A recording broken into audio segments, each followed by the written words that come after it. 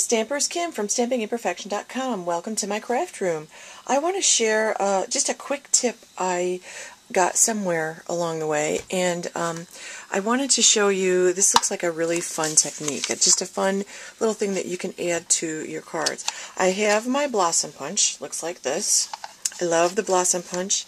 It goes with the mixed bunch set. It, it there are a couple sets that this actually goes with. I'm going to cut out um, one Blossom Punch in the Very Vanilla.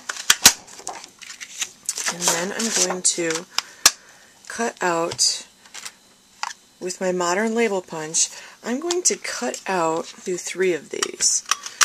So one,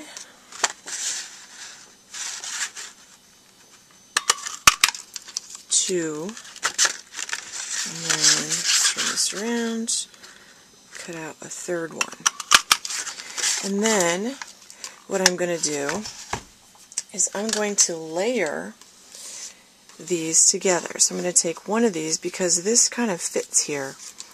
They're kind of shaped the same on the edge. So I'm going to just turn this over and I'm going to layer the bottom one and make this one go like this. I'm going to do the same thing with this other one. And then I'm going to make a center using one of my bottle caps. This leftover piece of Very Vanilla, and I'm going to stamp a little flower on it. Paper that I picked out to, to um, make with the um, flower is from the Print Poetry Pack, and this is Gumball Green, and it says Raspberry Ripple or Primrose Petal. I'm going to use Primrose Petal, and I'm going to stamp one of my flower images from my favorite Lacy and Lovely set. Okay. So I'm just going to stamp this in. And I'm picking this because I want to put it inside a bottle cap to put in the center. And you'll notice that I've already sent the bottle cap through my Big Shot, so I get that little flattened look. I really like this. I feel like it looks like a piece of jewelry. Now I'm going to take my one inch circle punch. I have my one inch circle punch here. That's the size you need to fit inside the bottle cap. Oh, this is going to be perfect. This is from the Lacy and Lovely set in Primrose Petal, and that's quite pretty. Okay, so I'm going to put that down with some Tombow glue. And I'm not going to put too much in because I don't want it to squish around the outside, but I do want it to stick. So I'm going to put that in the center. Okay, and then I have some dahlias, some of those um, great little dahlias from the, that are in colors. And since these are in colors, I think I will choose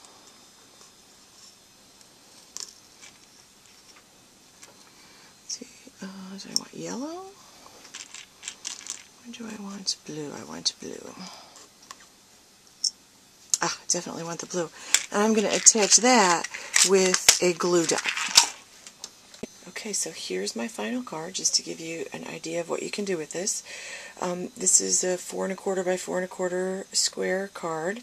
I've used Primrose Petal and I've used um, Gumball Green and I have also used paper from the Print Poetry Pack, which is what I did originally with the Modern Label Punch.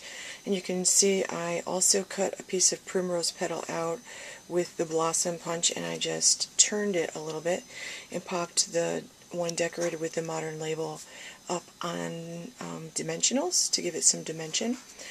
This is the um, dotted scallop edge punch there. This is um, Midnight Muse ribbon and the Inspire sentiment comes from the Loving Thoughts set. So all in all, you can do a lot of really fun little things just with that little touch on top of your Blossom Punch. So have fun with that. Thanks for watching. Stop on my blog at stampingimperfection.com for more ideas. Sign up for my mailing list and get three video tutorials exclusive for my mailing list subscribers. Thanks for watching.